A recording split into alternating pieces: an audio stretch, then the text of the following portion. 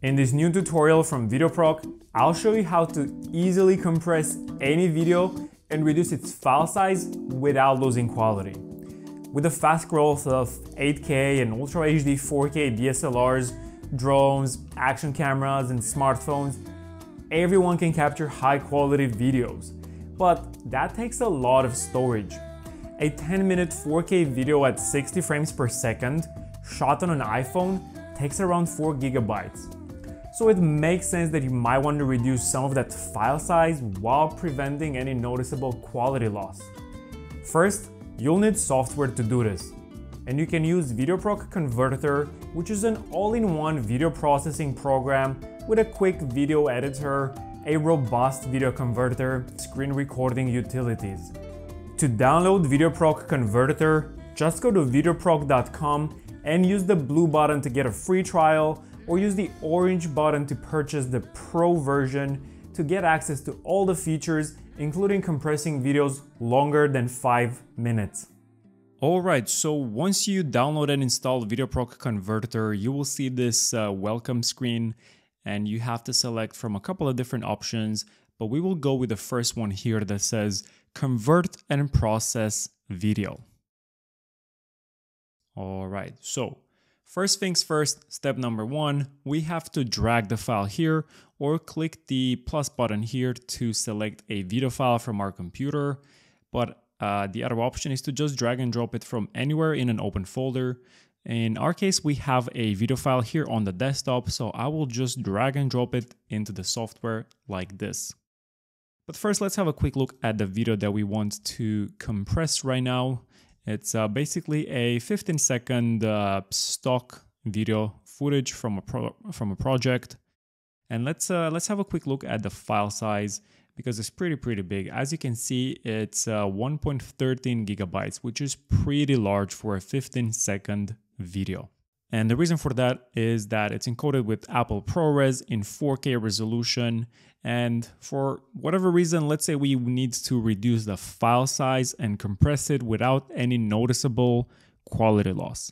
So step number two is here on the bottom, we have to select a target format and we have a couple of popular ones, some video formats, some specific ones for devices, music, and so on and we're just going to go to the popular one. And if you cannot find it here make sure to look for it under video. But we will look for mp4 encoded with HEVC so I'm just going to go ahead and select this one.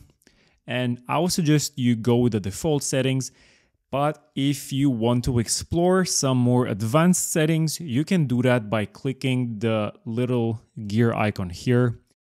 And again this is pretty advanced territory but I'm just going to quickly go over some of those just so you can get a, an idea about what is what.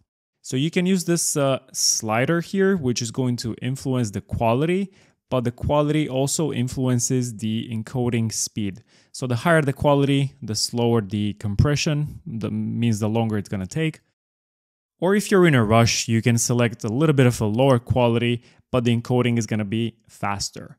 So I will just go with high quality then here on the middle, we have the video codec, which is HEVC, which supports hardware acceleration, which means the whole conversion is going to be very, very fast.